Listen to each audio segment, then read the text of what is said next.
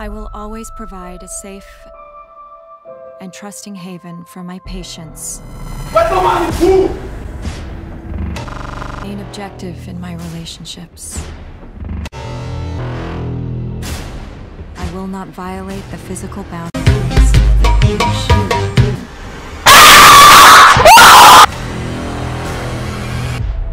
and will always